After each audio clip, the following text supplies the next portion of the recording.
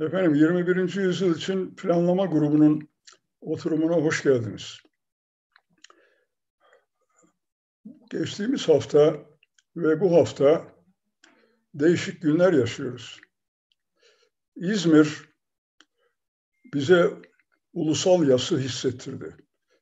Resmi makamların ulusal yası ihmal etmiş olmalarına rağmen toplumca, ulusça ulusal yası hissettik ve ulusal yasın ne demek olduğunu, insan kaybımızın ne demek olduğunu geçtiğimiz günlerde yaşadık ve yaşamaya devam ediyoruz.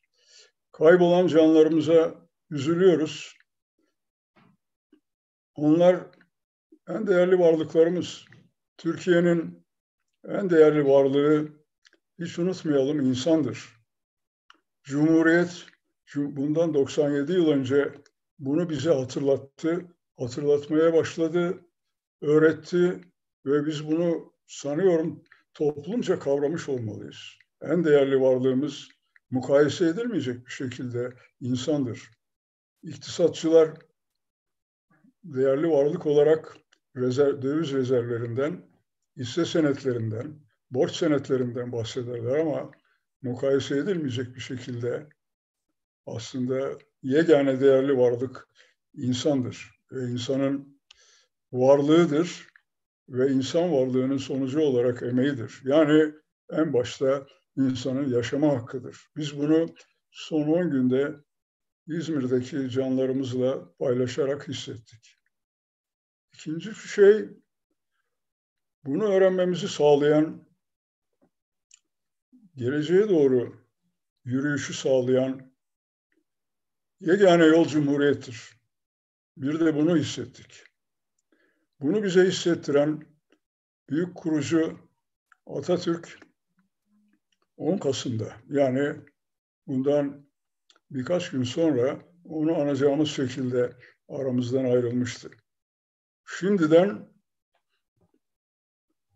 ona saygı duruşumuzu şimdiden başlatabiliriz. Ve 10 Kasım'da bunu daha güzel, daha etraflı bir şekilde, daha kavrayıcı, kapsayıcı bir şekilde hatırlayabiliriz, konuşabiliriz.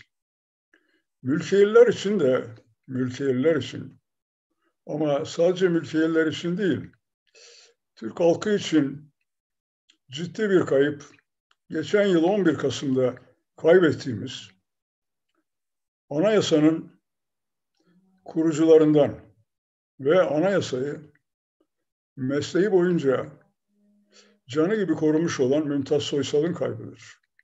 Mümtaz Soysal anayasanın bekçisi, savunucusu, bir anayasanın toplumu nasıl geliştireceğini ortaya koyabilmiş olan önemli, ciddi bir insandı.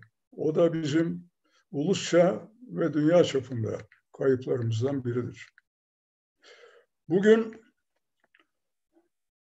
bu kayıplarımızı konuşuyoruz. Çünkü insan varlığı sayesinde, insan varlığı sayesinde bir devlet anladık ki ayakta durabilir.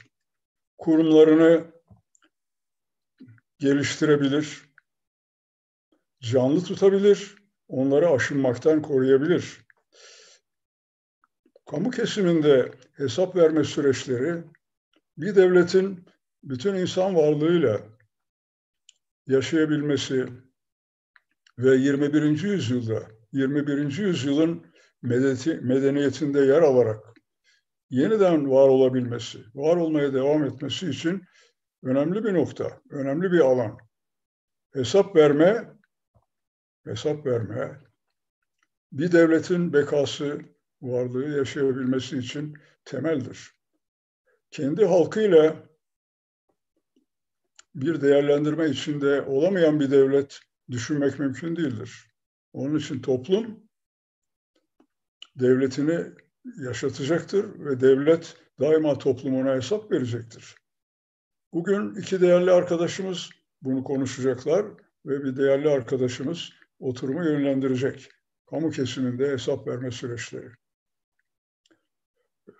Cumhuriyet hesap vermeyi ilk gününden itibaren Büyük Millet Meclisi'nin kuruluşundan itibaren birinci plan aldı.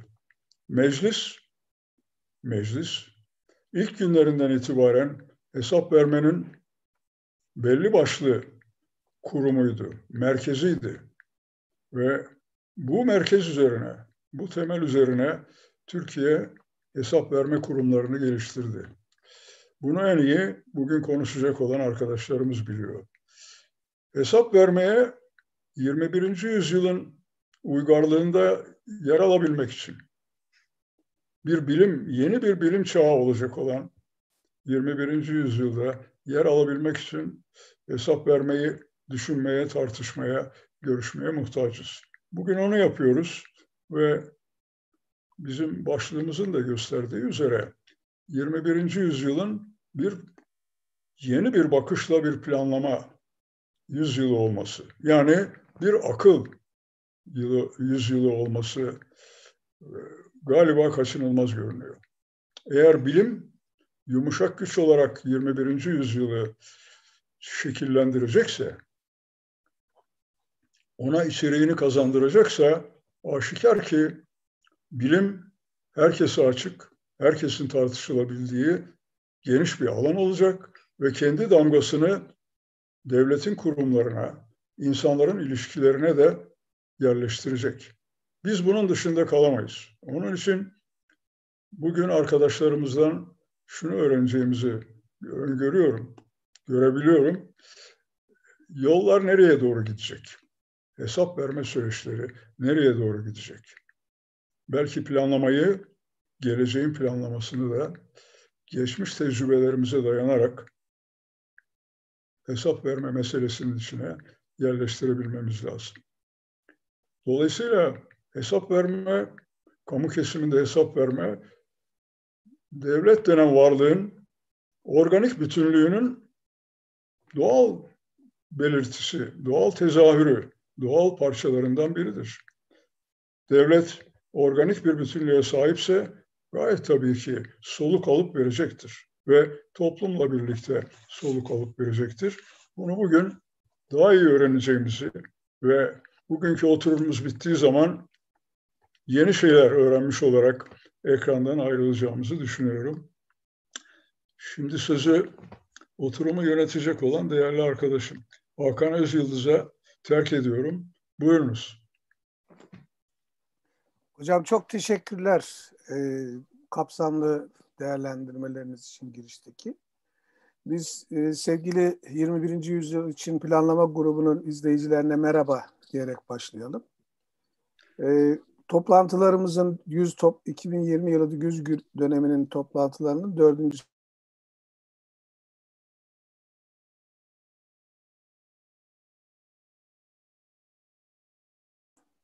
ses gittiği için halinden özür diliyorum. Şimdi biz bugünkü önemli bir konuyu ele almaya çalışacağız. Ee, bir Say Hoca da belirtti, detaylarına girmeyeceğim fazla. İki değerli konuşmacımız var. Birisi, Sayın Bülent Tarhan, geçmiş e, dene, kamu denetçiliği deneyimi de olan bir insan. Bize bilgilerini paylaşacak. E, diğeri e, benim kadim dostum. E, 73'ten beri e, aynı sıralarda işe başlayıp aynı günlerde hazineye girip aynı günlerde emekli olduğumuz senelerin bunca senelik dostum ve bu işleri benim bildiğim kadarıyla Türkiye'de ilk tartışan insanlardan birisi Ferhat. Onun için onların bize vereceği çok katkı olduğuna düşünerek sözü ben fazla uzatmayacağım. Sizlerin zamanını fazla almayacağım ve ilk konuşmacımız Sayın Bülent Tarhan'a bırakacağım sözü. Bülent Bey buyurun dinliyoruz.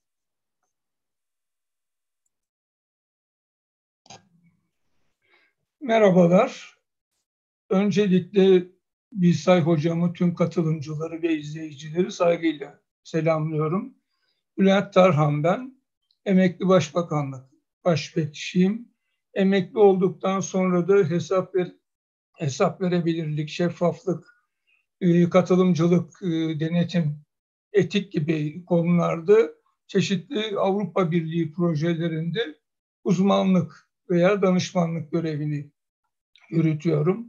Bugünkü konumuz e, hesap verebilirlik ve 21. yüzyıl için planlama konusu. Ben e, slaytlarla sunumumu yapmaya ve bu arada slaytları e, beslemeye çalışacağım.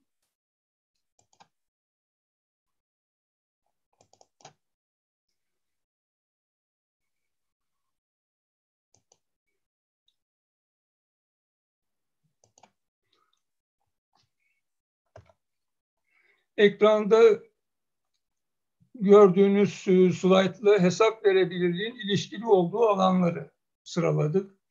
Bu alanların tamamında hesap verebilirlik ortak bileşenlerden biri. Yani hesap verebilirlik olmadan çağdaş ve gerçek bir demokrasinin olması mümkün değil. Yine good governance dedikleri 21. yüzyılın kavramlarından geliştirilmesi gereken kavramlarından biri olan iyi yönetişimin olması mümkün değil. Kamu etiğinin, yolsuzlukla mücadelenin ve yine 21. yüzyılın kapsamlı kavramlarından biri olan open government dedikleri açık yönetimin olması mümkün değil. Bu alanlar da aslında kendi içinde birbiriyle ilişkili. Mesela Transparency International'ın yani Dünya Şeffaflık Örgütü'nün her yıl yaptığı yolsuzlukla mücadele endekslerinde, algılama endekslerinde üst sıralarda çıkan ülkelerin demokrasi karnelerinde pek iyi olduğunu görüyoruz.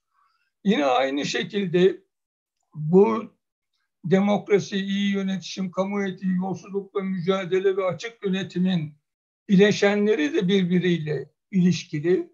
Mesela en son e, Türkiye'yi de ilgilendiren endekslerden bir tanesi International Budget e, Partnership'in 2019 e, şeffaflık, bütçe şeffaflığı endeksi. Türkiye bu endekste 117 ülke arasında 51 puanla 46. sırada yer aldı şunu söylemeye çalışıyorum. Şeffaflık yönünden bu kadar sorun varken hesap verebilirlik yönünden sorunsuz olduğumuzu söylemek mümkün değil. Bu ekranda gördüğünüz şema ise Türkiye Büyük Millet Meclisi'nin 2003 yılında hazırladığı bir yolsuzluk araştırma komisyonunun hazırladığı bir rapor vardı. O raporun ilk bölümünden e, çözümler, nedenler bölümünden alınmıştır. Burada da hesap verebilirlik ve cevap verebilirlik olarak yer aldı. Cevap verebilirliği dışlayarak hesap verebilirliği e, geliştirmek, gerçekleştirmek mümkün değil. Dediğim gibi yani e, bütün 21. yüzyıl gelişmelerinde hesap verebilirlik yer alıyor. Bu ekranda gördüğünüz ise Avrupa Konseyi Yerel Yönetim Reformu Uzmanlar Komitesi'nin iyi demokratik yerel yönetişimin 12 ilkesi başlıklı broşürü. Bu broşürde de hem hesap verebilirlik hem cevap verebilirlik ayrı ayrı yer alıyor. Yine az önce sözünü ettiğim o açık yönetim yani Open Government e, Partnership dediği açık yönetimin de ilkeleri arasında hesap sorulabilirlik var. Hesap sorulabilirliklerin alt başlığı olarak da denetim, etik kurallar ve inceleme söz konusu. Buradaki incelemeyi aslında e, audit anlamında değil de otokontrol veya hiyerarşik kontrol anlamında almak gerekiyor.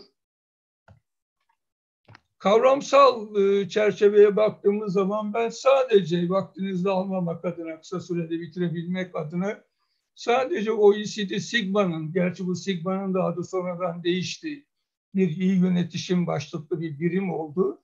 Bu Sigma'nın tanımı dünyada da en genel kabul görmüş e, tanımlardan biri. Onu okuyacağım.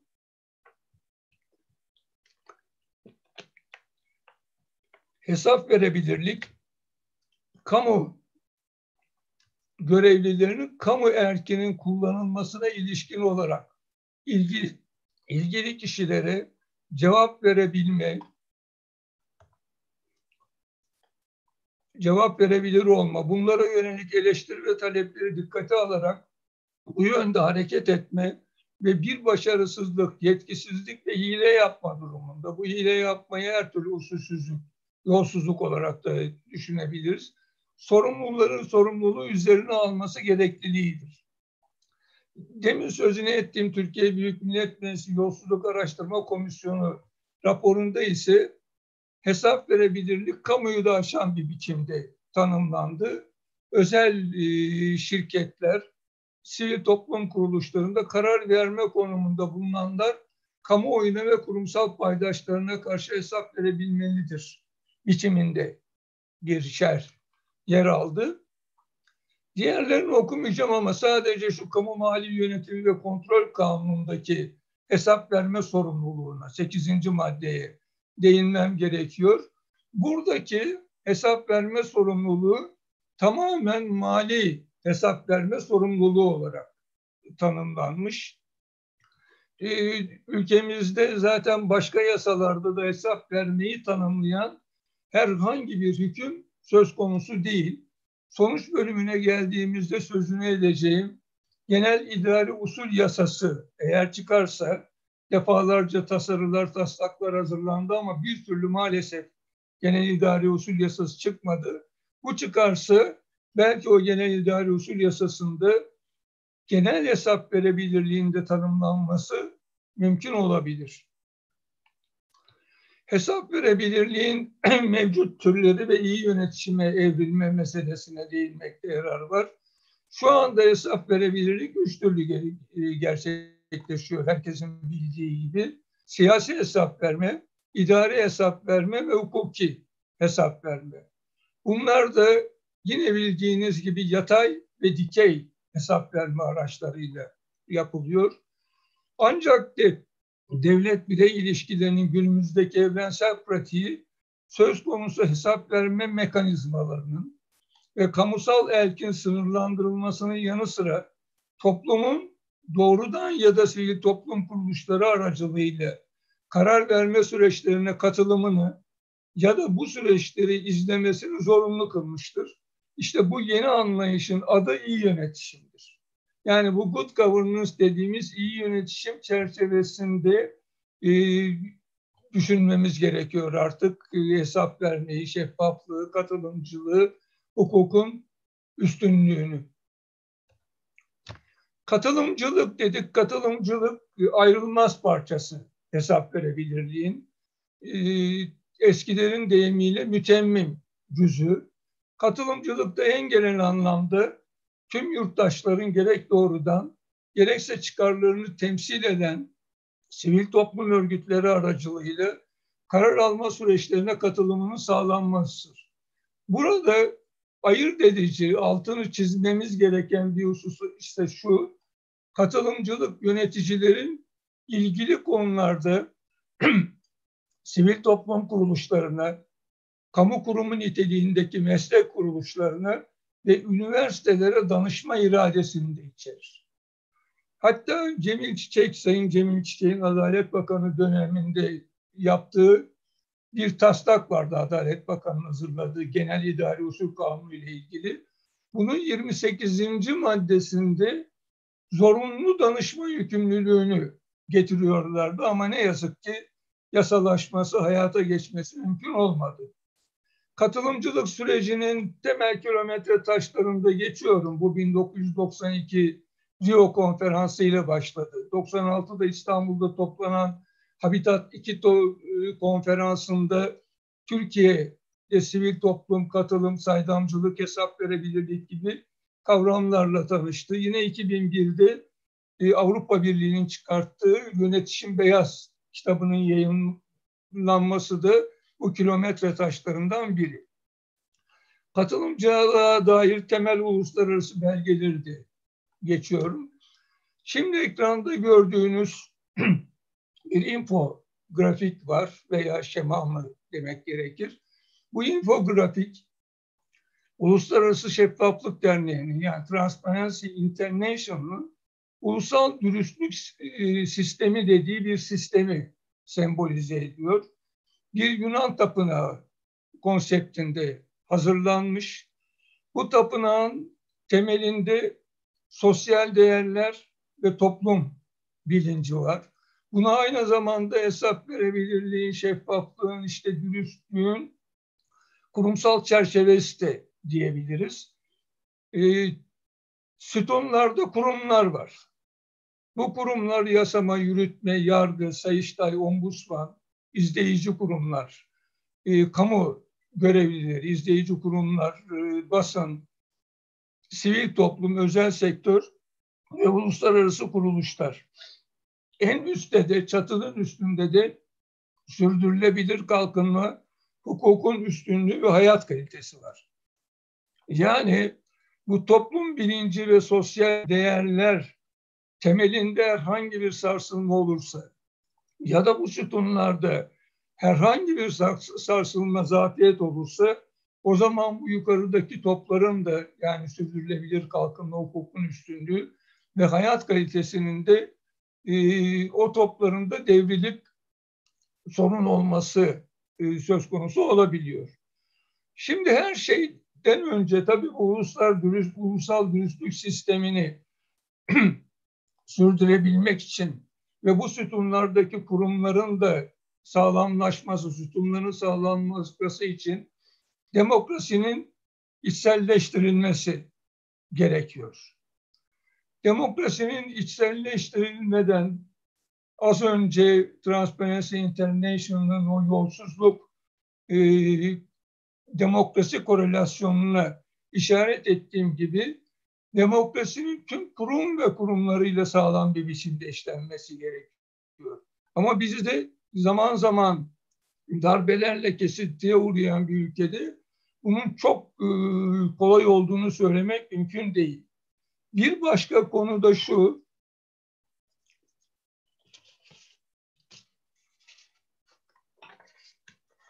pardon. Bir başka konu da e, siyasi kararlılık meselesi.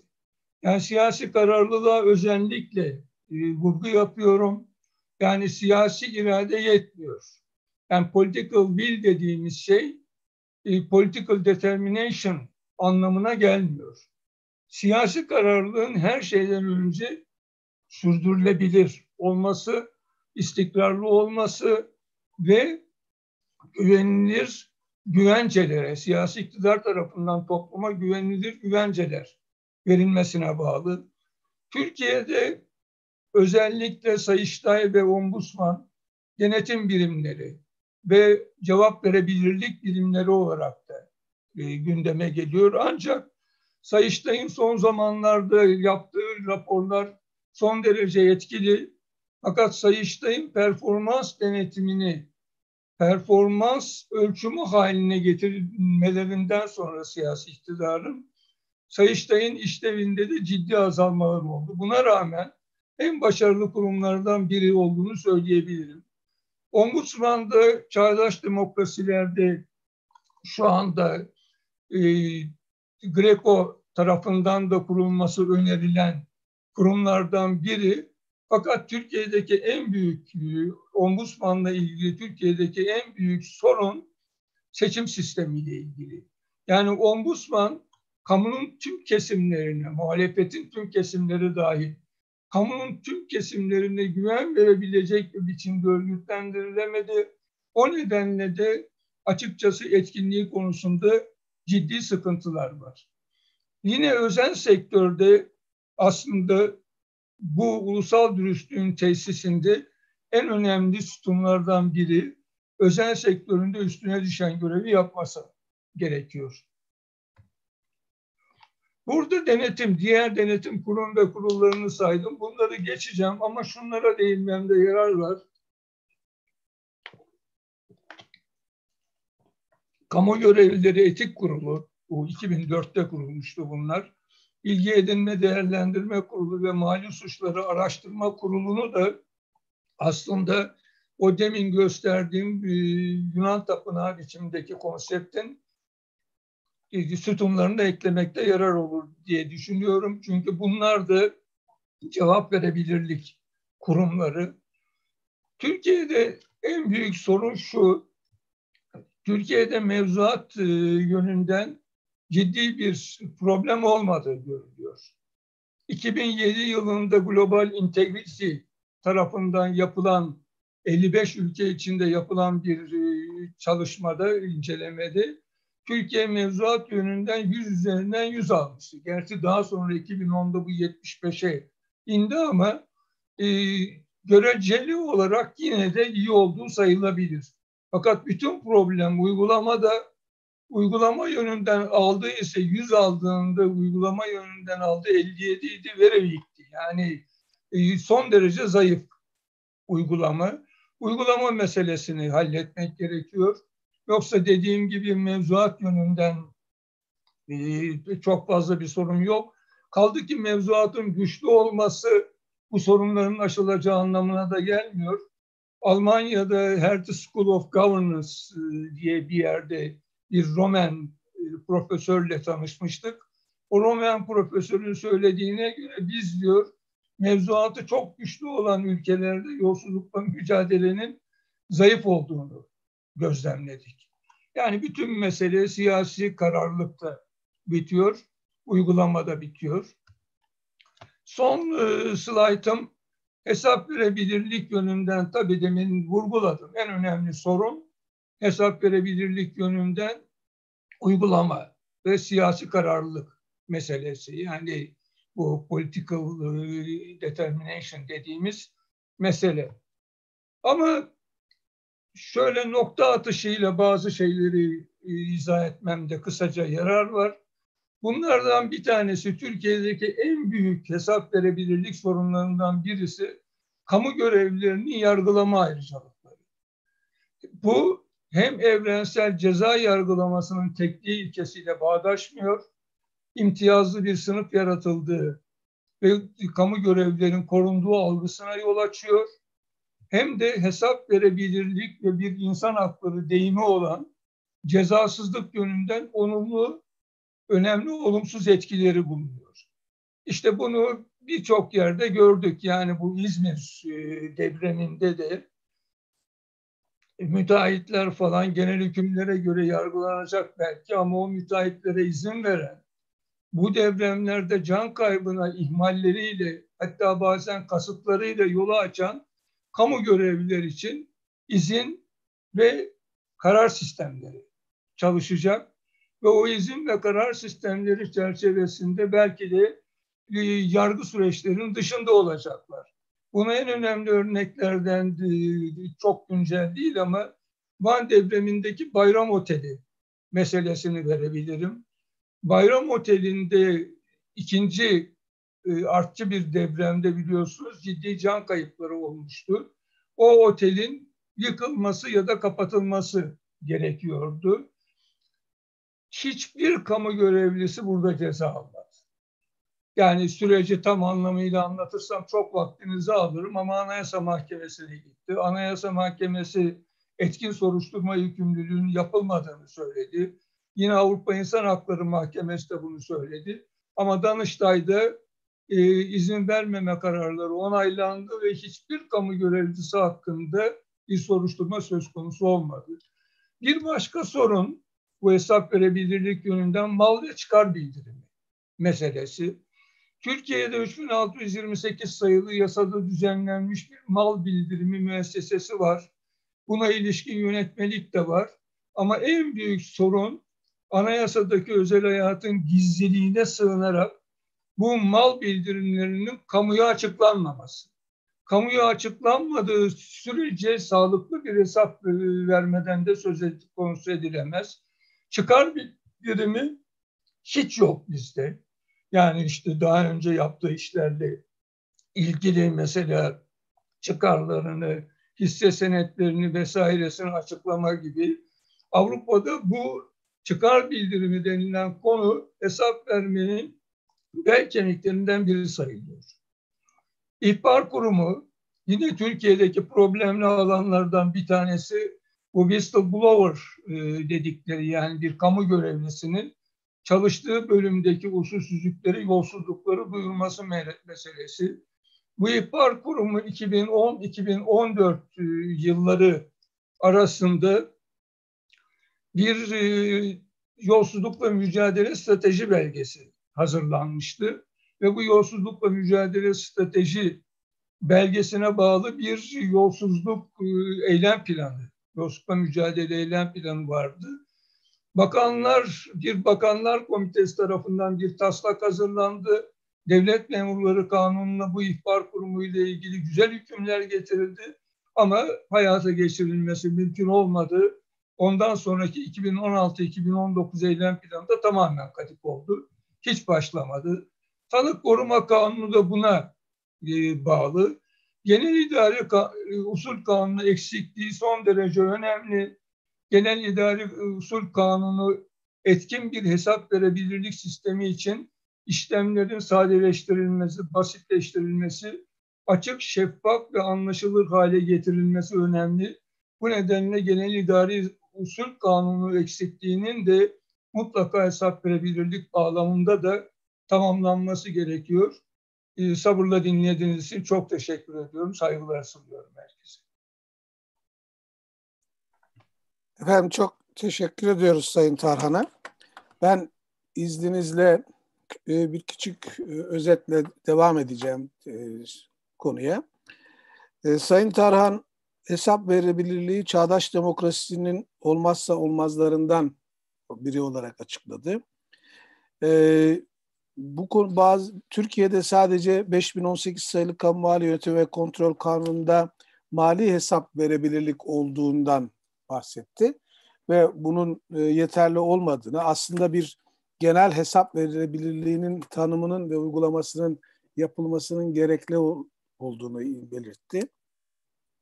Sonradan bir e, ulusal dürüstlük kurumundan bahsederek bu toplam toplum bilinci ve sosyal değerleri bizi ulusal dürüstlüğe kadar götüreceğini, orada ona bağlı olduğunu, bu kurumun yerleşmesi açısından da e, hukukun üstünlüğünün çok e, etken olduğunu belirtti. Sayıştay'ın performans denetimi meselesine e, gündeme getirdi. Bu bizim için bugünlerde çok önemli bir konu. Biliyorsunuz Sayıştay e, yeni program bütçe ve e, bu program bütçedeki performansların denetimi açısından önemli bir görevle karşı karşıya. Ne kadar yap, görevini nasıl yapacağı, ne kadar yapabileceği konusunda tartışmalar var. Bunlara da bir ışık vermiş oldu e, omdusmanlık meselesinin muhalefeti içine almadan e, örgütlenmesi nedeniyle etkin çalışımında çalışmasında bazı sorunlar olduğuna değindi. Türkiye'de mevzuatın e, yüzde yüz hatta sonradan biraz düşse de ilk başlarda yüzde yüzlerde olduğunu ama uygulamanın sıkıntılı olduğunu söyledi ve uygulamanın başarısı için de e, siyasi kararlılığın hayati önemi olduğunu, oraya her şeyin oraya bağlı olduğunu söyledi. Ee, benim bize özellikle üzerinde durduğum ve e, vurgulamasında da çok değer verdiğim konulardan bir tanesi de kamu görevlilerinin yargılanma ayrıcalığı meselesi. Bu çok e, Türkiye'nin e, en sıkıntılı konularından birisidir. Çünkü siyasetçi her zaman e, kendi yanlışlarını bürokratlar, çalışır, memurlar üzerinden çözer gerektiğinde aslanların önüne onu atar ve oradan e, şeyin içinden çıkmaya çalışır. Bu hakikaten üzerinde düşünülmesi ve eğer 21. yüzyıla uygun bir hesap verilebilirlik modeli yapılacaksa bunun mutlaka ve mutlaka bu kamu görevlerinin ayrıcalığın kaldırılmasıyla olacağını bilinmesinde yarar görüyorum. Son olarak da mal ve çıkar bildirimi meselesine e, değindi Sayın Tarhan. Bunlar da bizde olmayan e, çıkar bildirimi ve bu bağlantı konusunun da tartışılmasında e, önem verilmesi gerektiğini belirtti. Ben fazla uzatmadan konuyu e, işin asıl uzmanına Sayın Ferhat Emil'e vereyim. Ferhat Hocam söz sende buyur. Ee, çok teşekkürler. Ee, ben de herkese başta bir sayı hocam olmak üzere e, 21. yüzyıl planlama e, grubunu e, bu organizasyonunda herkese ve katılımcıları da saygı ve sevgiyle selamlıyorum. E, konunun ne kadar uzman olduğum tabii tartışma götürür. Bülent Bey buradayken o konunun özellikle çok yetkin bir şekilde ele aldığı hususlara ben de katkı yapmaya çalışacağım. Ben de müsaadenizle bir 6-7 slaytlık bir sunumum var. Onun üzerinden geçeceğim. Çok da e, sizin e, yani bir 15 dakikada bilemediğiniz 16-17 dakikada toparlayacağımı e, ümit ediyorum. E, ben de bir ekran paylaşımı e, yapayım. E, hemen şuradan. E, sanıyorum e, e, görebileceğiz. E, net olduğunu tahmin ediyorum. E, ben de e, konunun başlığını hafta içinde de bir hocayla görüştükten sonra madem ki bir planlamayı tasavvur ediyoruz 21. yüzyılda e, böyle bir e, tasavvur içinde kamu sektöründe esnaf verilebilirliği nereye oturtabiliriz üzerinden yapacağım. Bazı alanlarda e, Bülent Bey'in e, anlatımıyla örtüşen kısımları olacak. Onları bir tekrardan ziyade pekiştirme olarak da görmenizi de rica ediyorum. Şöyle bir yaklaşım oluşturmaya çalıştım. Bir kere kamu politikalarının oluşturulmasında hesap verilebilirlik sorunu nereden kaynaklanıyor? Hani bunu daha Magna Carta'ya kadar falan götürebiliriz ama sonuçta devlet müdahalesi. Yani devlet piyasa ekonomisinde e, hani en çok bunun üzerinden gidiyor bu hesap verilebilirlik. E, doğru dürüst çalışmıyor bu sistem. Dolayısıyla buna bir devlet müdahalesi gerekiyor. Dolayısıyla piyasaları daha iyi çalıştırmak, piyasaların yapamadığı kaynak tahsisini ve istikrarı sağlayabilmek için e, bir kısım müdahaleler yapıyor. Bunlar nedir? Vergileme yoluyla, sosyal harcamalar yoluyla, para ve maliye politikalarıyla e, bir kaynak kullanmak suretiyle burada e, serbest piyasayı nasıl derlerim, toparlarım da fazla dert yaratmadan bize götürebiliriz. Sorununa bir çözüm e, bulmak isterken e, ortaya çıkan konu e, buradan bir hesap verilebilirlik konusu. Çünkü kamudan aldığınız muhtelif kaynaklar, vergiydi, borçlanmaydı, kamu malını özelleştirme yoluyla sağladığınız kaynaklarla bu işi toparlamaya çalışıyor. Buna da biz ekonomi politikaları diyoruz. Şimdi bu müdahaleler ya geçici yapılır, yani bir bozukluk vardır, devam etmesi şey yapılır ya da bizim gibi ülkelerde özellikle belli bir perspektifle yapılıyor. Buna da biz daha 1960'dan beri hatta biraz daha geriye götürürsek 1930'dan e, sonra buna biz bir kalkınma planlaması yoluyla e, çözüm bulmaya çalıştık. Dolayısıyla planlama bir kaynak tahsisinde bir e, kalkınmayı planlama bağlamında devletin ekonomik yaşama müdahalesiyle ortaya çıkan bir durum. Şimdi 21. yüzyıl planlamasını düşünürken belki biraz soyut ama bu hesap verilebilirlik çerçevesini biraz daha e, geniş tutmak gerekebilir diye e, de düşünebiliriz.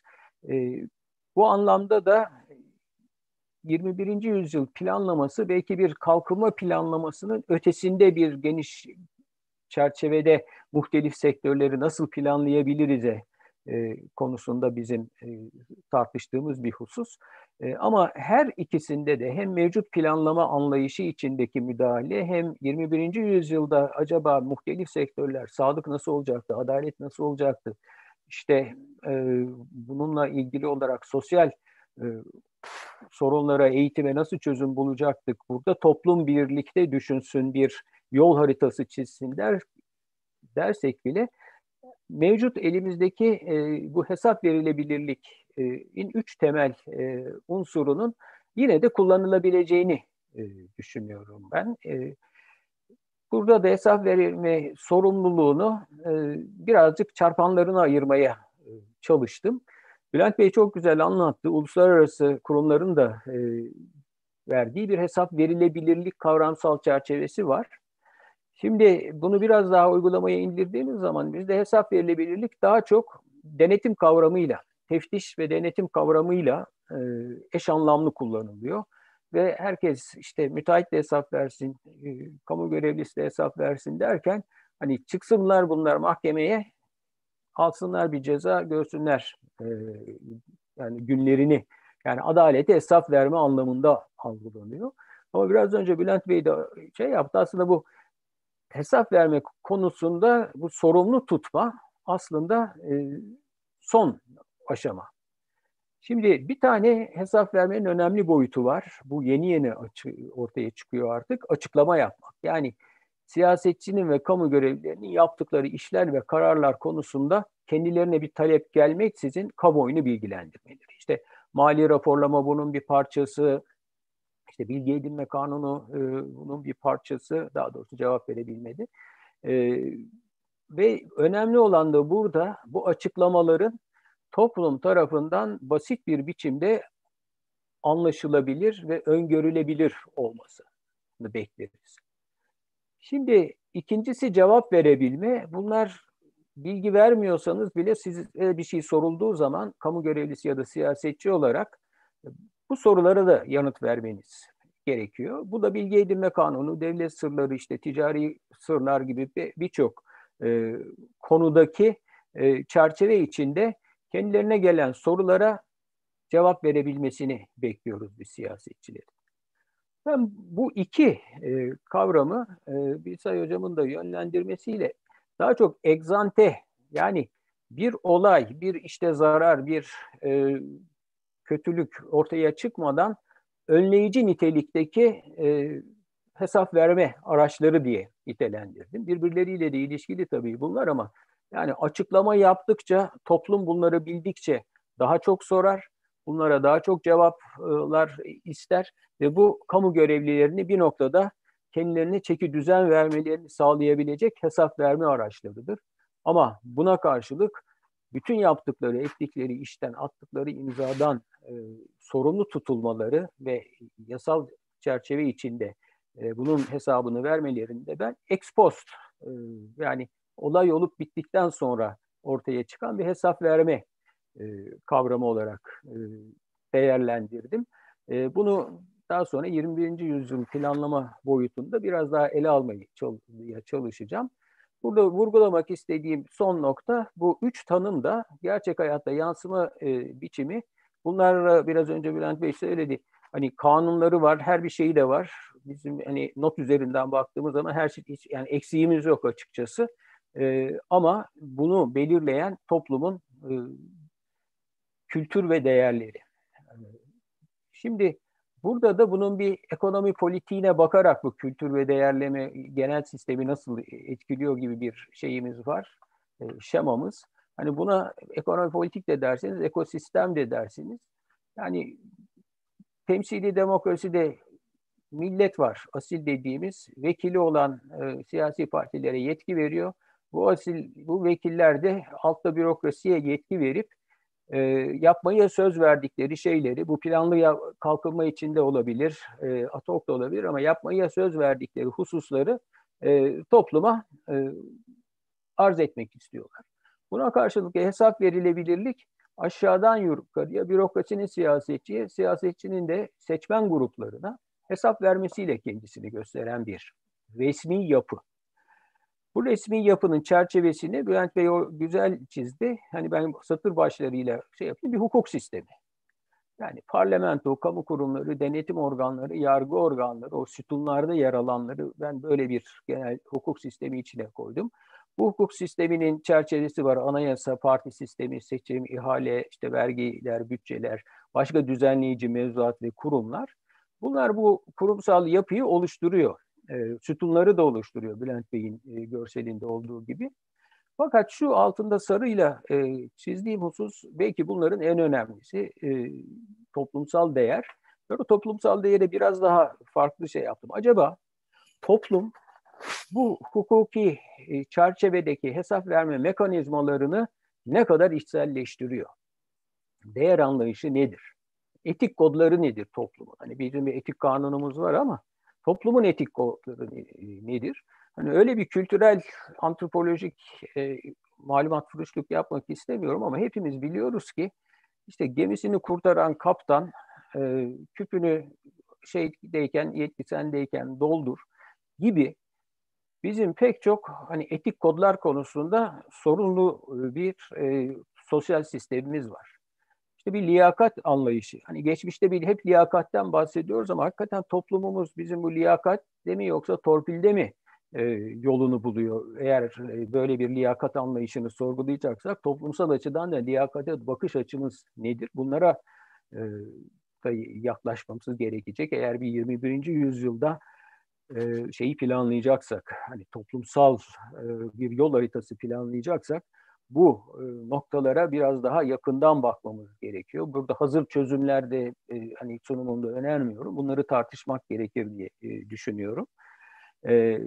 Bürokratik gelenekler açısından hepimiz bürokrasiden geldik. İşte karşılaştırdığınız zaman bugün liyakat kalmadı. Geçmişte ne gelenekler vardı biz diyoruz. Ama yani toplumda bu ne kadar karşılık görüyor? Hani bürokratik olarak iş yapma anlayışının geçmişteki e, bizim işte e, yaşantımızda şahit olduğumuz hani biraz daha başedik bürokrasi şu anda var mı? E, böyle bir bürokrasinin olmadığı ortamda e, bu hesap verme sorumluluğu nasıl şey yapacak? Hani bürokratik kültür e, de çok önemlidir diye düşünüyorum e, bu ortam içinde.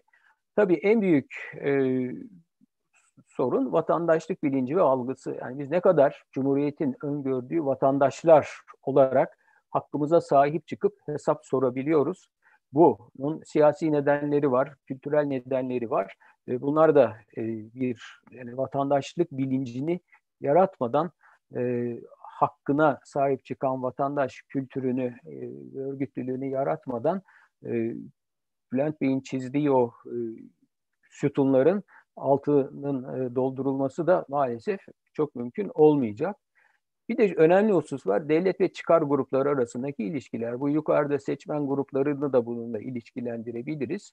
Yani bunu konuda e, devletin ihale sistemi ile olsun, başka rant aktarma mekanizmaları ile olsun, e, kendini destekleyen çıkar grupları e, ile ilişkileri sormadan, sorgulanmadan bu kaynak tahsisi e, meselesine bizim e, sağlıklı bir çözüm getirmemizin de e, çok mümkün olmadığını düşünüyorum. Yani bu e, aslında mevcut durumdaki çerçevenin e, bir görünümünü bize veriyor. Düşünmemiz gereken noktalar, hesap verilebilirliği e, kamu kurumlarında e, konuşurken neler olması gerektiği konusunda bize bazı ipuçları e, vermesini bekleyebiliriz diye e, düşünerek bunu buraya koydum. Şimdi planlamayı yeniden düşünürken madem ki konumuz biraz da buna değinmemizi e, e, getiriyor. Hesap verme sorumluluğu ve plancılık da nasıl hesap verebilir? Yani plan yaptığımız zaman ya da planları işte muhtelif alanlarda yaparken bu da nasıl yani bu plan yapmanın da kendisinin bir hesap verme e, sorunsalının olması gerekir noktasından e, hareket ettim. E, aslında her plan ister 21. yüzyılda yapalım, ister şimdiki işte adı var kendi yok planlamanın bir e, sıralaması var. Önce bir politikaları, öncelikleri belirleyecek bir politika formülasyonu yapmak lazım. Daha sonra bu planı hayata geçirirken hedeflerle ne kadar tutarlıyız izlemesini yapmak lazım. Sonuçta da planı bir değerlendirmek lazım. Şimdi bizim Türk plancılığının mevcut kalkınma planı boyutuna baktığımızda plan politika formülasyonunda geleneksel e, katılım yöntemi e, özel ihtisas komisyonları. Yani onun dışında ben de bürokraside bazen bu özel ihtisas komisyonlarının bir kısmının başkanlığını da yapmakta nasip oldu. E, yani bu 60'lı yıllarda falan belki anlam ifade eder ama şimdi tamamen bir bürokratik e, mekanizma içinde önceliklerin bile baştan e, planlama örgütü tarafından belirlenip Sonra da herkesi davet edip biz şunları konuşacağız. Gelin de bize işte biraz bir şeyler söyleyinin ötesine gitmeyen bir e, plan e, konsepti var. Şimdi böyle bir e, planlamada aslında plancının sorumluluğunu ben öncelikleri belirlerken açıklama, bilgi verme ve kararlara katma sorumluluğu olarak daha geniş bir toplum yapısını katması gerektiği noktasından vurgulamak istedim. Ama tabii burada başka sorunlar da çıkıyor. 86 ee, milyonluk bir ülkede merkezden yapılacak bir planlama kavramının ya da 21. yüzyılda dahi olsa ortaya çıkan bir planlama kavramı içinde düşünülmesi gereken hususların tek bir merkezden planlanıp planlanamayacağı meselesine tartışmamız lazım. Benim de öyle bir tek e, hani çözüm önerecek bir durumum da değil, haddim de değil. Yoksa daha bir yerelden biz bu planlama işine bakıp da 21. yüzyılda toplumdaki yerel kalkınma e, dinamiklerini de bu işin içine katmamız e, da gerekecek mi? Bunu da e, düşünerek bir hesap verme sorumluluğunu da plan e, çerçevesi içinde plancı açısından e, göstermek durumundayız diye düşünüyorum. En önemlisi bizim mevcut planlarımızda da e, belki ileride de bir planlama işte örgütlenmesi kavramı e, oluştururken düşüneceğimiz şey hedeflerle tutarlılık ve izleme. Yani ne ölçüde biz e, hedeflerimizi yürütüyoruz? Bu gerçekçi mi? Revizyon yapılacak mı? Bunun sorgulamasını biz planın hayatı boyunca uygulayabileceğiz mi? Yani plan yönetimi meselesinde de yine plancının da e, bir hesap verme durumunun söz konusu olduğunu, bunun mevcut planlama e, çerçevesi içinde pek de e, yürütülebildiğini söyleyemeyeceğimiz bir izleme sorunsalı var. Buna da bunun da tartışılması lazım 21. yüzyılda plan meselesi düşünülürken. Planın sonuçları yani ne dedik ne gerçekleşti, niye böyle oldu? Bu da geleneksel bir şeydir. Planın performansının değerlendirilmesi meselesi. Bu da e, yani şu anda yok. Mesela biz 5 yıllık plan yaptığımız zaman orada şey yapılıyor. İşte özel ihtisas komisyonlar bir şeyler konuyor. Tuğla gibi bir kitabımız oluyor. Meclis bunları tartışıyor. Öyle ya da böyle işte bir, bir şeye konuluyor. Bundan sonra bunlar yıllık programlara ayrılıyor ama yıllık programlara ayrıldıktan sonra da sonuçta neyin izlenip ne olduğu konusu 5 yılın sonunda e, vatandaşın çok bilgisi içinde değil, toplumun çok bilgisi içinde değil. Belki bir noktadan sonra umurunda da e, değil. E, bu da aslında zaman içinde biz de e, kalkınma planlarının prestijini ne, de ciddi bir şekilde e, zarara uğrattı. Yani plancının bu anlamda ya da plan yapan planlama örgütlerinin daha da geniş devletin e, hesap verme sorumluluğu daha önce e, altını çizmeye çalıştım. Bu egzante sorumlulukla çok yakından ilişkili. O da ne? Açıklama yapacaksınız. E, sorularına cevap vereceksiniz ve bu şekilde de e, bu planın doğru dürüst işlemesi ya da tasavvur ettiğimiz şeylerin hayata geçirilmesinde bu hesap verme sorumluluğunu mahkemeye gidip de hesap verme anlamında söylemiyorum ama işlerin önceden daha proaktif yürütülmesi açısından önemli olduğunu, eğer bunlar bu şekilde yürütülemezse planın aslında hiçbir anlam ifade etmeyen, e, herhangi bir prestiji olmayan bir egzersiz olarak kalabileceğini e, düşünüyoruz. Çünkü ne kadar biz daha tasavvuri bir şekilde 21. yüzyıl planlamasını konuşsak dahi sonuçta bir şeyler yapmak lazım. Bir şeyleri de hayata geçirmek lazım. İşte orada bu e, hesap verme sorumluluğu açısından da plan yapanların bu e, hususlara özellikle öncelik verme, izleme ve değerlendirme konularına da e, özel bir önem vermesi plan prestiji açısından önemlidir diye düşünüyorum. Son slaytta evet tamam bunlar iyi güzel ama 86 milyon ya da küsur bir insan grubunun yaşadığı memleketimizde e, bunu vatandaşlar tek başına e, yapamayacaktır. Gerçekçi olmak lazım. İster yerelde olsun, ister e, merkezde olsun. Bu işlerin tasarlanmasında hani vatandaşı her aşamada stadyuma falan doldurarak bile e, sağlayabileceğimiz bir katılım meselesi yok. Bülent Bey katılımdan bahsetti. Çok önemli. Yani demokrasi açısından çok önemli bu hesap verilebilirlik açısından. Fakat e, bizim konuştuğumuz konular açısından bu hesap verilebilirlik aslında bilgi edinmeyle önemli. Yani sadece devletten alacağımız bilgi değil ama bu hesabı vatandaş adına soracak artık sadece siyasetçi olmamalı. Bu hesabı vatandaş adına soracak, onlar adına bir görev üstlenecek olanlar STK'dır. Yani bir dereceye kadar STK'nın kendisinin de tartışılması gerekir. Sendikalar çok önemli. Seslerini çıktığını çok duymadık bu gibi konularda. Mesleki örgütlülük gerek önemli. İşte şehir plancıları olur, e, mali müşavirler odası olur, işte, e, mimarlar odası olur. Onlar biraz bir şeyler yapıyor. İşte hak temelli belli örgütlülük olabilir. Bunların her aşamada kendilerini de geliştirmesi ve bu e, plan meselesini, plan uygulamasını, planın tasavvuru meselesinin her aşamasında içinde olması e, gerekecek. Tabii e, Bülent Bey'in de altını çizdiği bu karar alıcılarının bu süreci teşvik etmesi gerekiyor. Yani ortam sağlaması gerekiyor ki katılım bir anlam ifade etsin. E, dolayısıyla e, sonuçta e, 21. yüzyıl planlamasında artık hesap verilebilirliğin, mahkemede hesap verilebilirliğin ön aşamalarında önleyici, süreci belirleyici bir e, hesap verilebilirlik çerçevesi içinde oturmasını, bu çerçeve içinde e, mesleki örgütlülüğün, sendikal örgütlülüğün, e, sivil toplum örgütlülüğünün çok e, önemli olduğunu ve aralarında iyi bir e, iletişim bağı olması gerektiğini söyleyebiliriz. Ama bunun için de bilgi ve bilinç gerekir. Yani slogan ve ezbercilikle hesap sorma ya da işte Twitter'dan birisi bir şey atınca demek ki burada bu varmış diye onun üstüne gidip de bir şeyler sormak çok e, sağlıklı e, olmayacaktır. Dolayısıyla bu örgütlerin de kendini geliştirmesi lazım.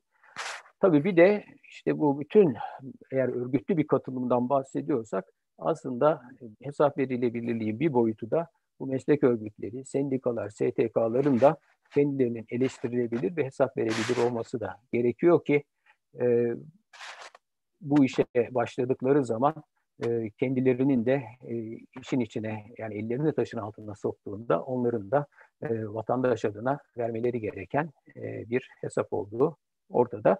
Bunlar benim e, sunumumun e, ana omurgasını oluşturuyor. E, sorularla belki geliştirebiliriz. Çok geniş de bir konu.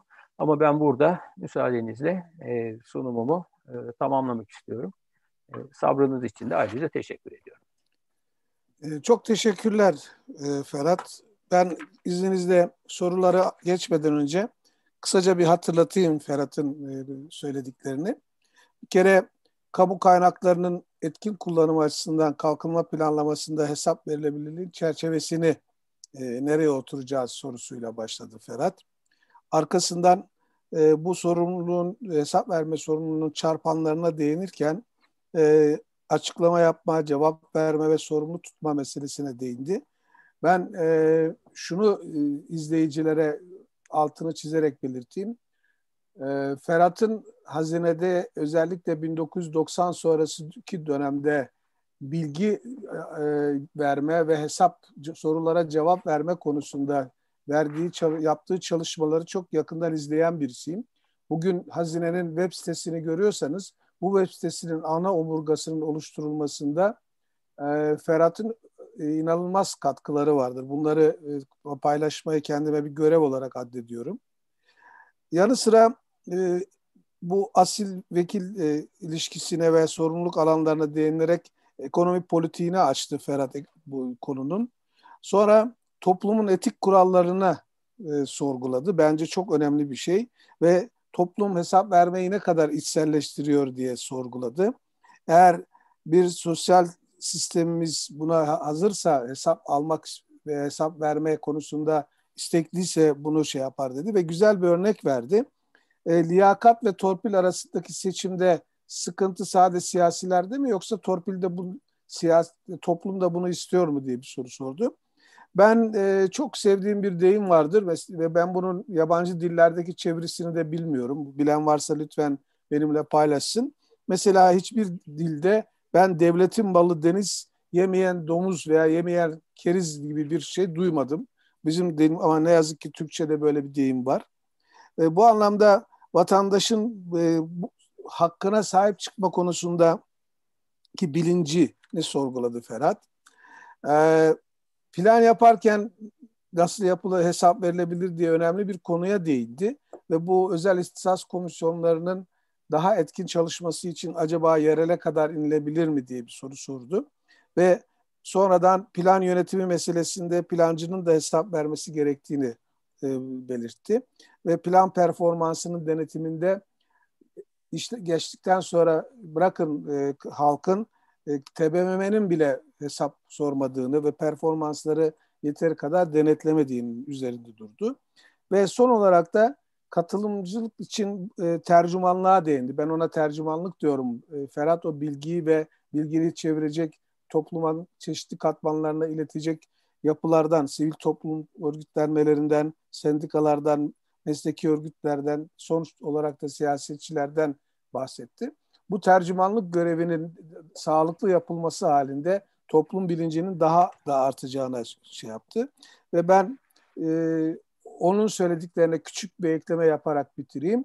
E, sosyal medya üzerinden hesap sorulma, sorma geleneğinin gittikçe yaygınlaştığını görüyoruz. Bunun da başarılı olamayacağını söyledi. Şimdi efendim burada e, birkaç tane soru var. İzninizle ben bu soruları e, yönlendireyim. E, Yavuz Irs kardeşimiz e, Bülent Bey'e yanılmıyorsam evet üç tane soru sormuş Bülent Bey. Ben şimdi isterseniz üçünü birden okuyayım veya tek tek ayrı ayrı okuyayım nasıl tercih ederseniz. Birinci soru şu. İyi yönetişim yaklaşımının Dünya Bankası'nın 1989 tarihli Afrika raporuyla birlikte gündeme geldiğini ve IMF, Birleşmiş Milletler Dünya Ticaret Örgütü gibi uluslararası kuruluşlar tarafından sahiplenildiğini biliyoruz. Bununla birlikte 1989-1991 yıllarında sosyalist kutbun çözüldüğü ve sermayenin sınırsız tahakküm rejimi olan neoliberalizmin bu coğrafyalara yayılma sürecinin başladığı da ortadadır. Bu bağlamda söz konusu yaklaşımın az gelişmiş ülkeler ile eski Doğu bloku ülkelerinin yönetimlerine duyulan güvensizliğin bu ülkelerin yönetim anlayışını dizayn etme çabasının sonucu olduğu söylenebilir mi?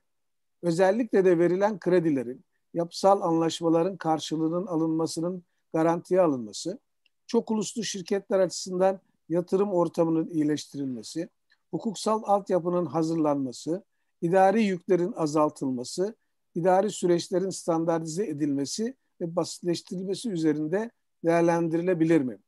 Bülent Bey ben diğer soruları geçmeden bu uzun isterseniz cevap verin sonra diğerlerini. İki soru daha var size. Bir de Ferhat Hocama bir sorum var.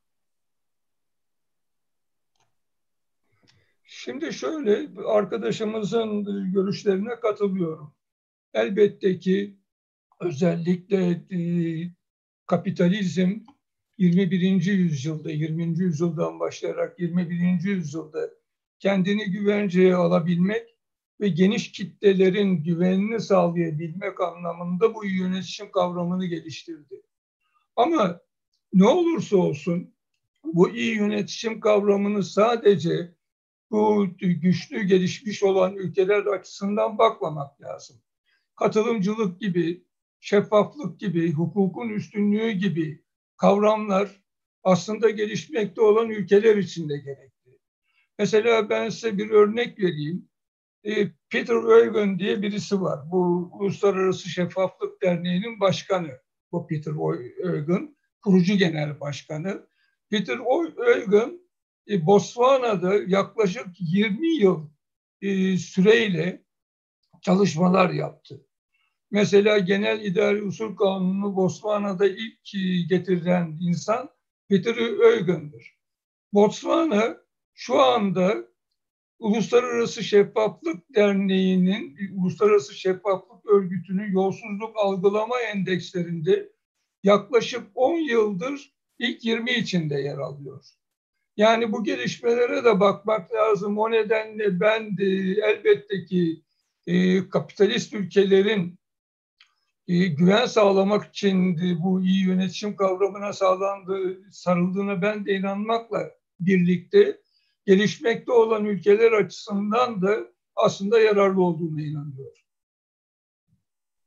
Bu konuda ben de birkaç e, cümleyle Bülent Bey'e katkı olsun diye bir şeyler söyleyebilir miyim? Bu Yavuz Bey'in söylemiş olduğu husus e, genellikle yönetişim kavramına eleştirel bir bakış açısıyla e, getirilen e, bir e, konu. E, orada şu var, yani uluslararası örgütler işte uluslararası sermaye bir ülkeye e, girdiği zaman bunlara bakmak durumunda. Yani benim en yakından şahit olduğum şey mali saydamlıktır. Buna çok da e, çalıştık. Mali saydamlıkla ilgili kuralları niye getirirler? Burada da arkadaşımız yazmış. İşte verdiği kredinin geriye alınmasında devletin bütçesi e, düzgün durumda mı? Ben bunu görmek istiyorum. Şimdi buradan çok eleştirel yaklaştığımız zaman hani şöyle de bir vatandaşımıza karşı haksızlık yapmak istiyor. Peki vatandaşın hakkı değil mi? Yani iş süreçlerinin e, basitleştirilmesi ya da yolsuzluğa ya da rüşvete yol açabilecek hususların basitleştirilmesi konusunda e, e, vatandaşın da bundan bir yararı yok mu? Ya da mali saydamlık meselesi, e, harcamaların gözden kaçırılması meselesine uluslararası kuruluşlar ya da örgütler kendi çıkarları açısından yaklaşıyorsa vatandaş da buna kendi çıkarları açısından yaklaşıp e, durumu kendi lehine çeviremez mi? O açıdan e, konuyu böyle sadece bir uluslararası kuruluşların e, bakış açısı çerçevesi içinde ele almaktan e, ziyade toplumsal olarak aslında bunları vatandaş olarak bizlerin talep etmesi e, gerekirdi diye e, düşünüyorum. Yani orada hani Bülent Bey e, açıkladı. Ben de ona hani katkı olsun diye e, birkaç cümleyle e, bunları da belirtmek istedim. Teşekkürler Ferhat. Ee, ikinci soru yine Bülent Bey'e. Türkiye'deki hükümet sistemi değişikliğinin hesap verebilirliğe yönelik etkileri olmuş mudur? Yürütmenin ve ona bağlı idarenin sorumluluğu bakımından ilerleme mi söz konusudur yoksa geriye gidiş mi? Yani Türkiye'deki yönetim değişikliği konusunda benim sürekli olarak ısrarla savunduğum konu parlamenter sistemdir. Dolayısıyla da bu görüş açısında ben hesap verebilirlik yönünden en azından ilerleme sağlanmadığı görüşündeyim. Efendim e, size sorulan son soru temel hak ve özgürlükler açısından da hesap verilebilirlik değerlendirmesi yapabilir miyiz diye sormuş arkadaşımız. E, elbette ki yani ilk slaytta zaten ben bunu vurgulamaya çalışmıştım. Hesap verebilirlik ki gerçek demokrasinin, katılımcı demokrasinin de aslında bileşenlerinden biri. Dolayısıyla temel hak ve özgürlükler yönünden de ciddi bir korelasyon olduğunu söyleyebiliriz kuşkusuz. Çok teşekkürler Bülent Bey cevaplarınız için. Şimdi Ferhat hocama bir soru var. Neyire Yasemin Yalım hanımefendi sormuş. Planlamada temel aldığı hesap verebilir, verilebilirlik hukukta olduğu gibi yalnız eylemle mi ilgili yoksa planlamacı düşünceleri açısından da sorumlu tutulmalı mı diye sormuş. Evet, çok ilginç bir soru. Teşekkür ederim. Yasemin Hanım'a. Ee, yani benim vurgulamak istediğim husus bir hukuksal hesap verebilirlikten çok e, bu düşünce sisteminin katılımcı bir şekilde e, olgunlaştırılması. E, elbette ki yani planlama aslında bir noktada çok sorumluluk gerektiren bir, hukuken baktığınız zaman çok rahat bir kavram. Yani biz de plancı arkadaşlarla hepimiz okul zamanlarından bu yana da e, bir arada olduk. E, işte e, meslekte de bir arada olduk, tartıştık. Hani plan e, daha böyle ulvi ve işte biz yaparız ve bu da işte plandır dendiği zaman tek kimse niye bu böyle olduğunun hesabını sormuyor. Ama planı uygulayan uygulamacı kuruluşlar işte ihalesinde şurada burada bir şeyler yaptığı zaman sorumlu tutuyorlar. hesap vermek durumunda oluyorlar. Ben bu anlamda e, düşünceler açısından sorumlu tutul, yani niye böyle düşündünüz diye e, tartışılabilir, e, hani eleştirilebilir e, planı yapanlar. E, ama yani bir hukuksal açıdan sorumlu tutulabilecek bir hukuki mekanizma yok. Yani onların da işte varsayımlarınız tutmadı, niye böyle oldu sorusunda iyi cevap veremediniz, gelin de size mahkemeye götürelim şeyi konumunda değil e, planını yapanlar ya da düşün niye böyle düşündünüz diye bir e, sorumluluk atfetmek e, mümkün değil. Burada benim e, vurgulamak istediğim en iyisini biz biliriz. Ondan dolayı da bunu böyle yaptık. Çünkü bir de planlamada şöyle de bir şey var. İşte yapıyorsunuz bunu, meclise götürüyorsunuz e, işte bakanlar kurulundan falan geçiyor. Eskiden öyleydi ama şimdi biraz değişti tabii ama sonuçta bir meclis dokümanı oluyor. Artık ondan sonra herkesin sorumluluğu altına giriyor. Orada tek plancıyı seçmek çok doğru değil ama benim vurgulamak istediğim bu işi tasarlarken, bu işi düşünürken e, plancının sorumluluğu bunun e, tek taraflı yapılmaması ve bir katkının alınması Özel ihtisas komisyonları artık buna yetmiyor. Mevcut plan yapım süreçlerimiz bunu artık karşılamıyor. O anlamda planlamanın prestiji gitti. Bizim şimdi görevimiz ona yeniden bir prestij kazandırmak. O prestiji kazandırırken de burada o prestije katkı verebilecek olan bir katılım mekanizmasını geliştirmek. Bence plancılığın sorumluluğu burada yatıyor. Teşekkürler. Efendim kapanış için Bilsay Hoca'ya e, sözü vermeden önce Sayın Tarhan, Ferhat Hocam sizlerin eklemek istediğiniz bazı hususlar var mı acaba?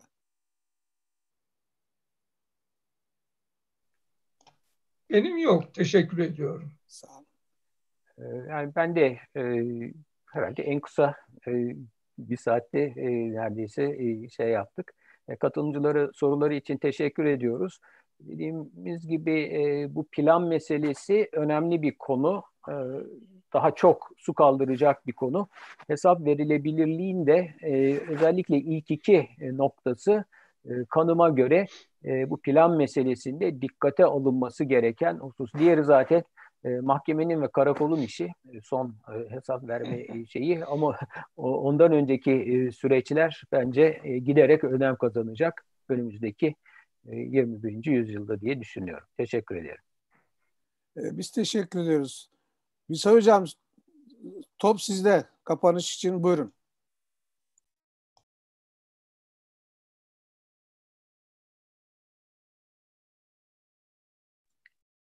Teşekkür ediyorum. Güzel bir oturum oldu.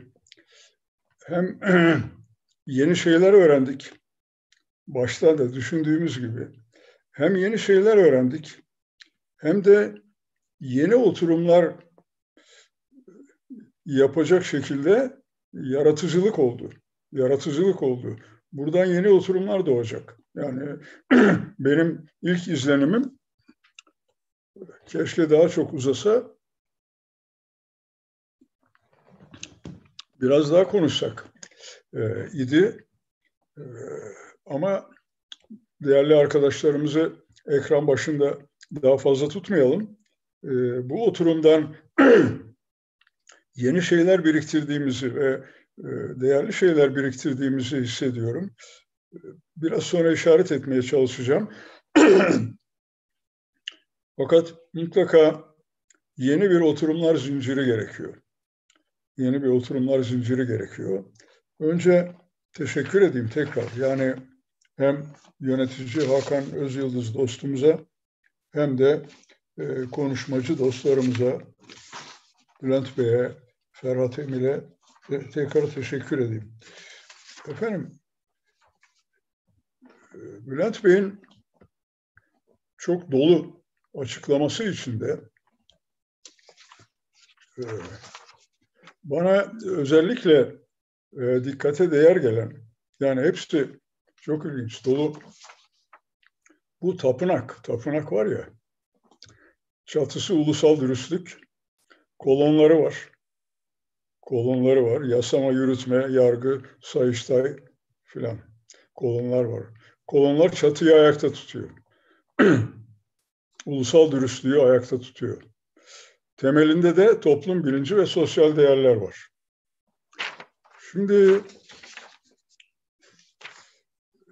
Bülent Bey haklı olarak bunların üzerinde durdu ve bunları daha çok işleme ihtiyacının ziyadesiyle çok olduğu günlerdeyiz.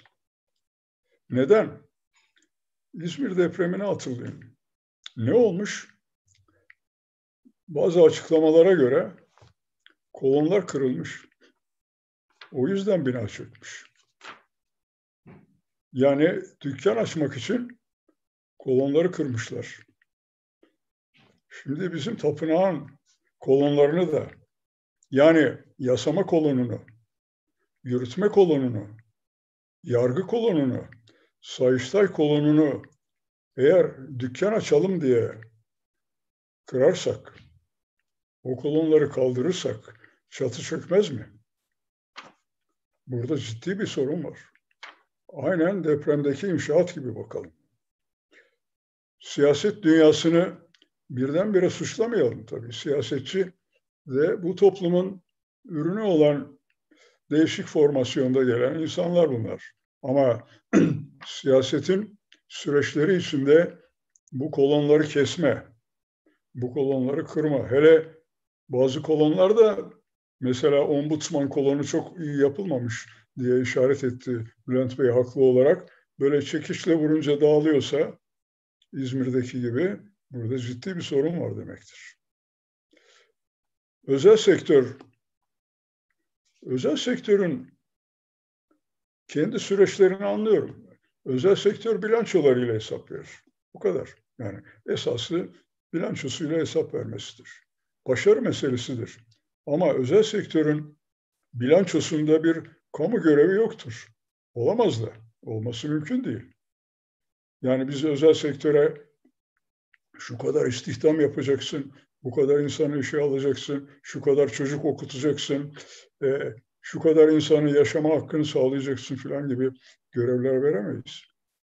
E, o özel sektör kendi sınırları içinde, bilançosunun sınırları içinde onu kabul edeceğiz. O kadar. Onun ötesinde meramı varsa onları çok fazla ciddiye alamayız. Yani ciddiye alamayız.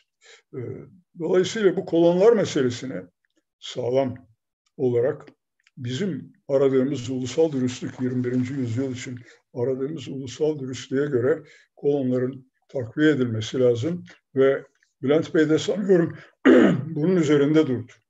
Yani sağlamlık ve cevap verebilirlikle, saydamlıkla bu kolonları takviye edebileceğimizi, bu kolonları bunlarla takviye edebileceğimizi işaret etti. Ve oradan iş Ferhat Emil dostumuzun önemli üzerinde durduğu noktalara gelip dayanıyor. Şimdi Ferhat Emil'in çok dikkate değer sunuşunda, çok dikkate değer sunuşunda e, ki bu dikkate değer sunuş bize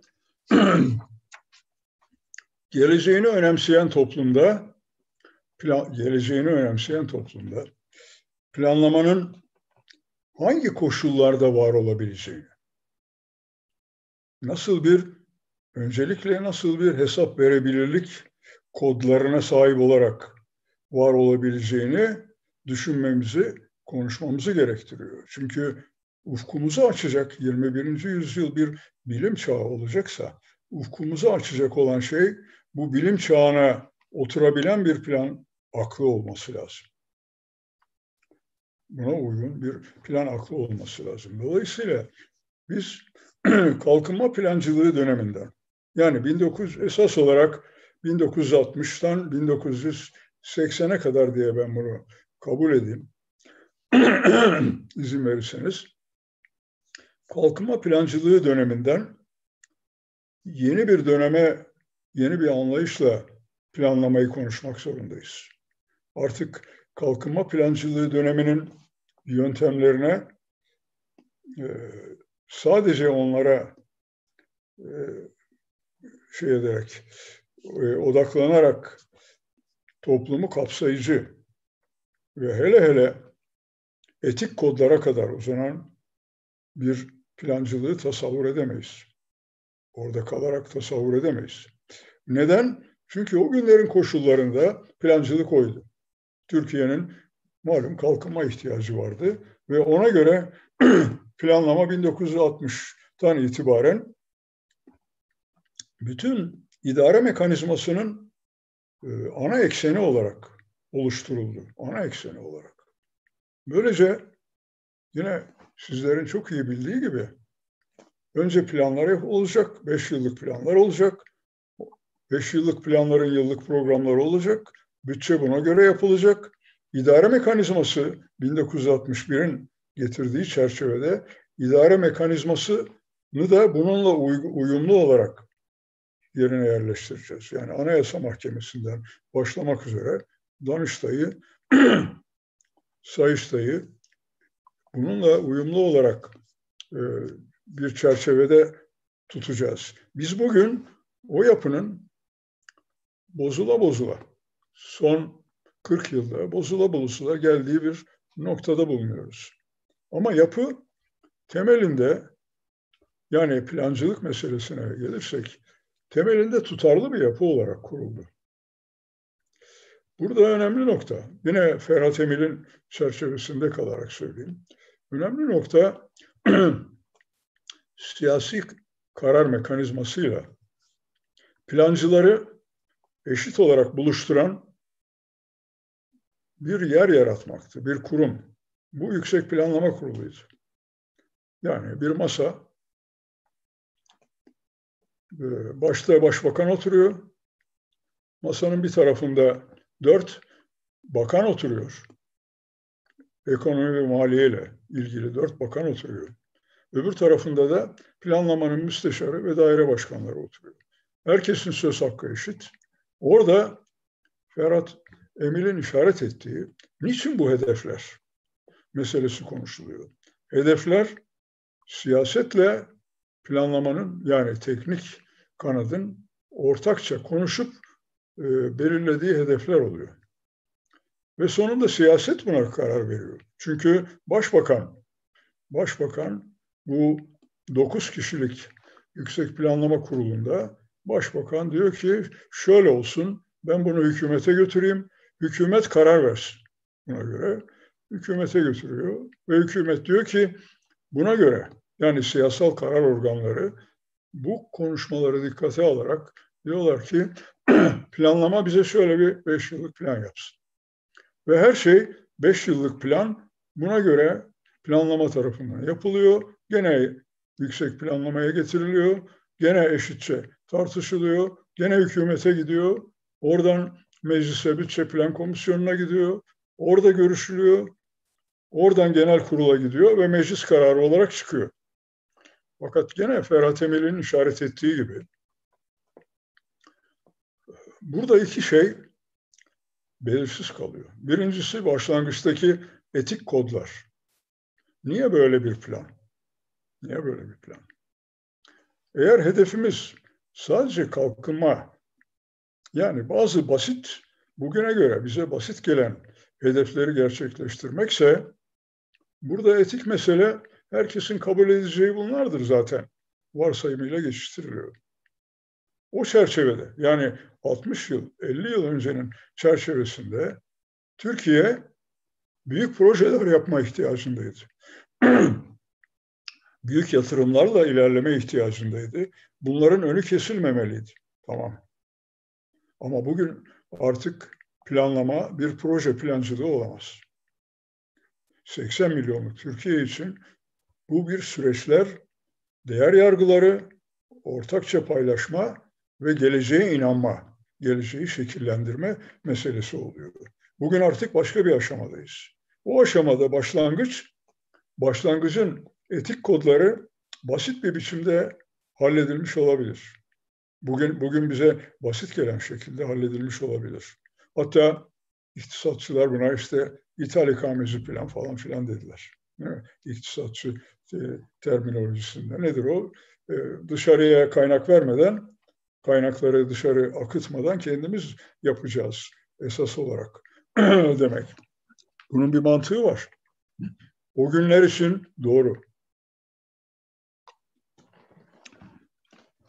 Ve burada şuna işaret edeyim. Sonunda meclis, burada birkaç mesele var. Birincisi meclis kararı idare hukukçularına göre, Bülent Bey daha iyi bilecek.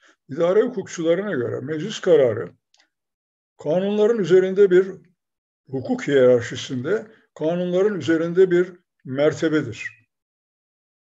Yani yönetmelik kararname kanun üstünde meclis kararı.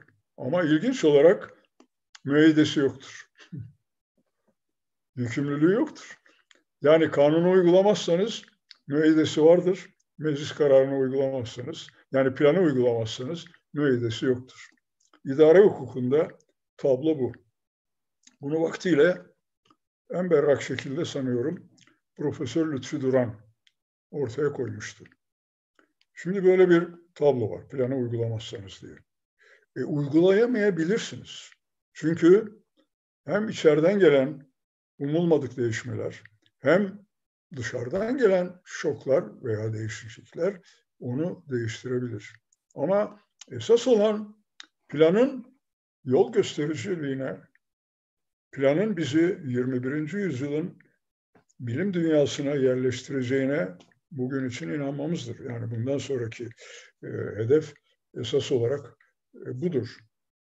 Ana hedef dolayısıyla etik olarak doğrudur. E, şimdi insanın kendinden hatıra anlatması pek hoş değil ama bir iki şeye işaret edeyim. Birincisi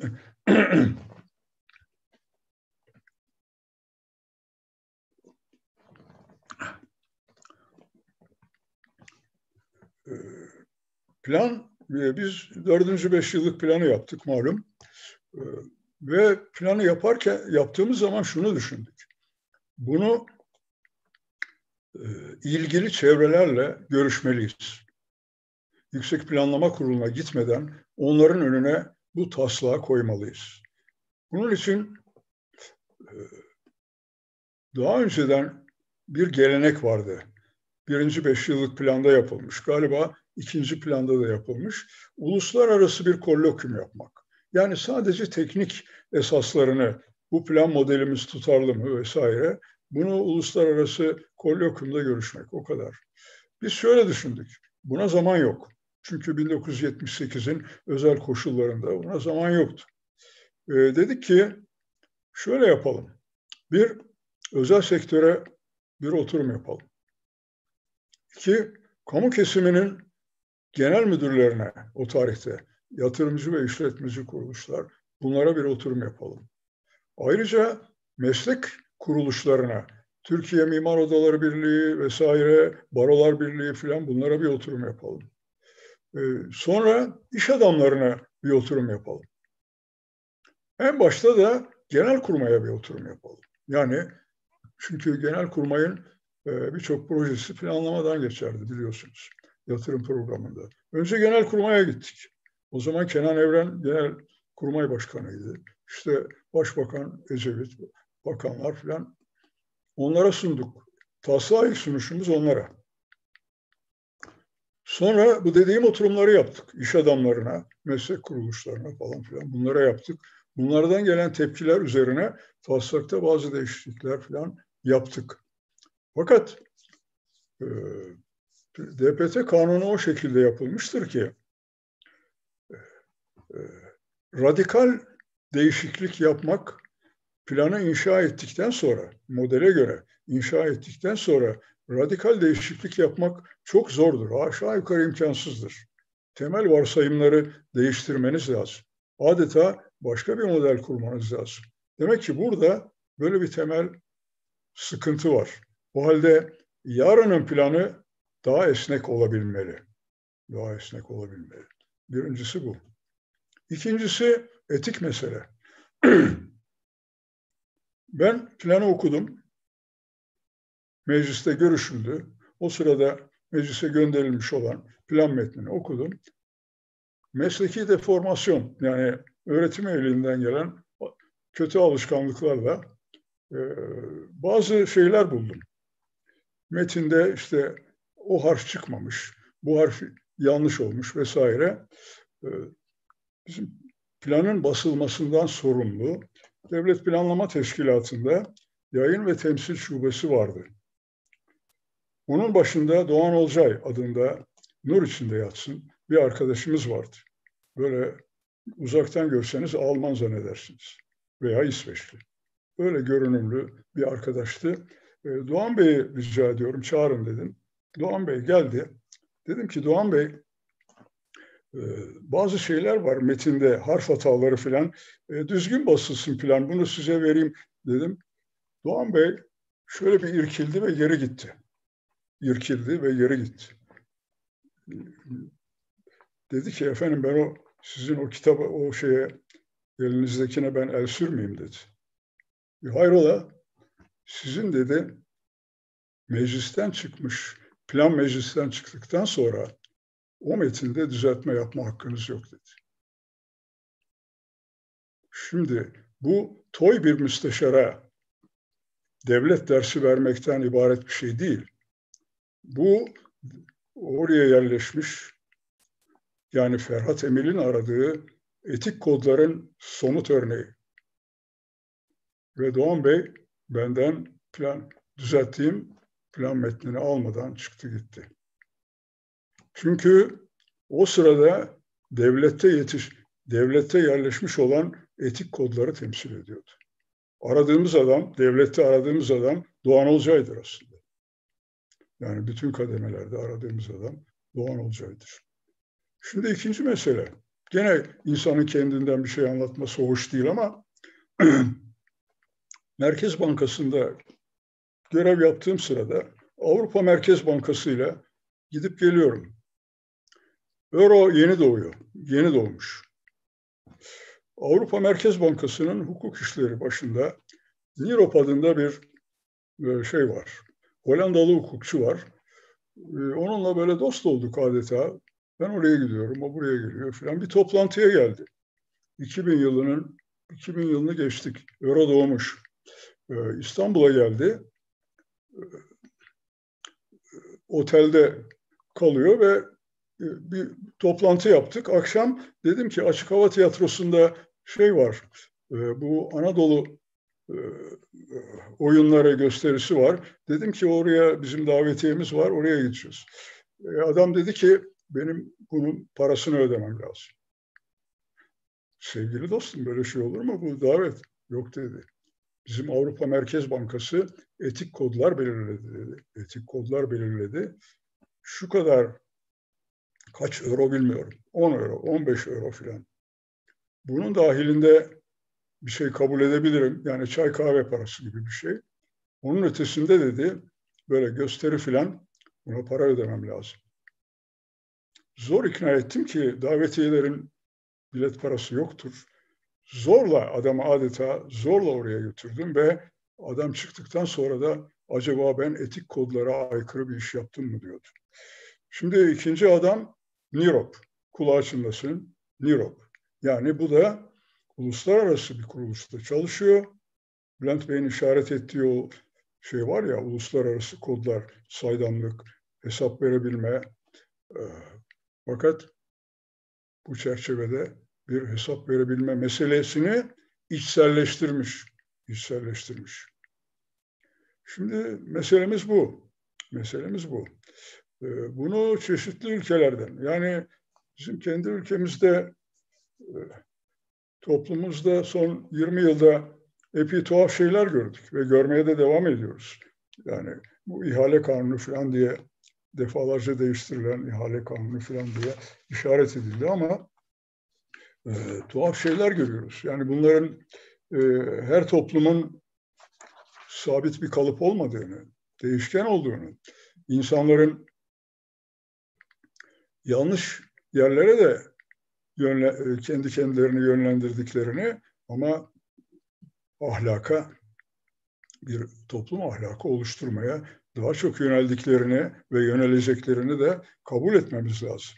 Eğer e, daha iyi bir ahlaka, daha yüksek düzeylere, medeniyetin daha yüksek düzeylerine yerleşmeye niyetleri olmasaydı Türk toplumu diye bir şey Cumhuriyet'in başlangıcından bu yana burada olmazdı tabii. Düşünün ki 13-14 milyonluk köylüler ülkesinde kurulmuş olan bir cumhuriyetiz. Ee, bugüne gelebilmemizin e, ışığını Cumhuriyet'ten aldık.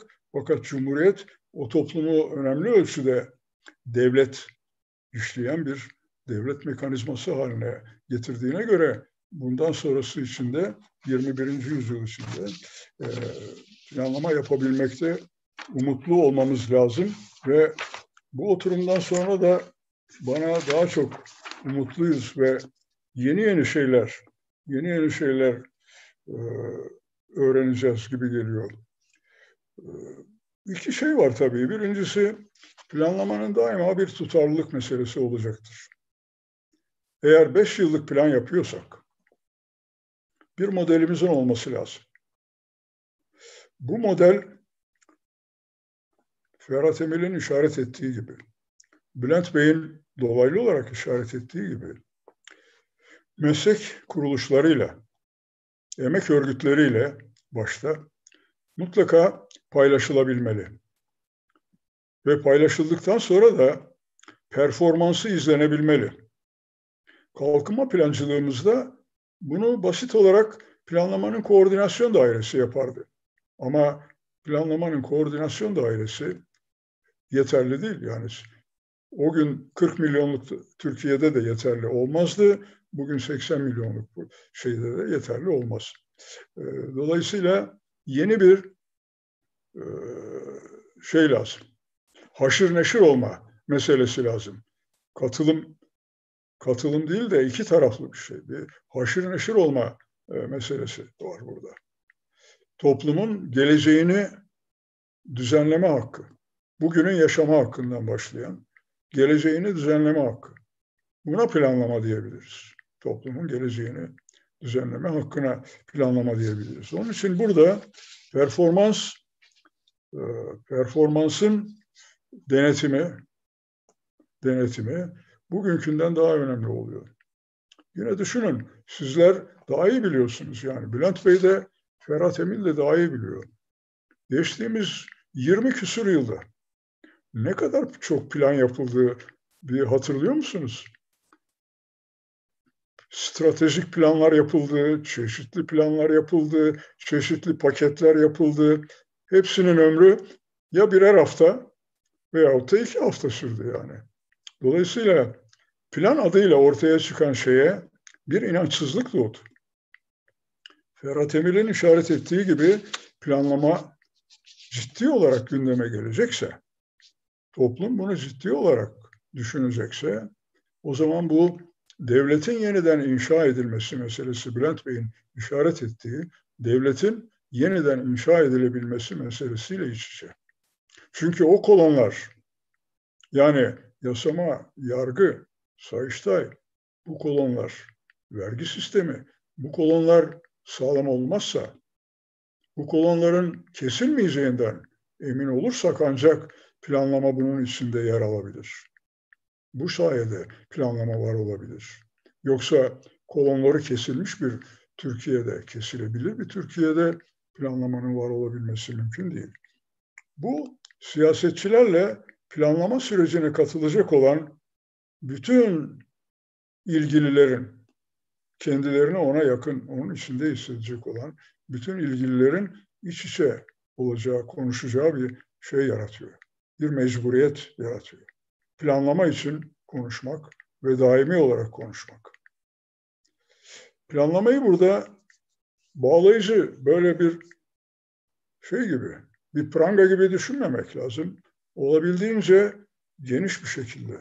Eğer çeşitli meslek kuruluşlarının, emek örgütlerinin, yurttaşın örgütlenme şekilleriyle katılacağı süreçler bütünü olarak düşünüyorsak, süreçler bütünü olarak düşünüyorsak, ciddiye alınacak süreçler bütünü olarak düşünüyorsak, o zaman işimiz biraz daha yabancı terimle sofistike bir iş.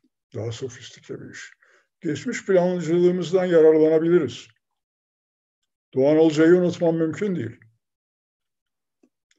Avrupa Merkez Bankası'nın baş hukukçusu Nirop'u unutmam mümkün değil. Yani önümde somut örnekler var. Etik şeye sahip. O zaman belki önce ex ante yani işler başlamadan işler başlamadan hesap verme, iyi düşünmek. Bunu bir konuşmamız lazım. İşler başlamadan hesap vermeyi düşünmek. Bunu içselleştirmek.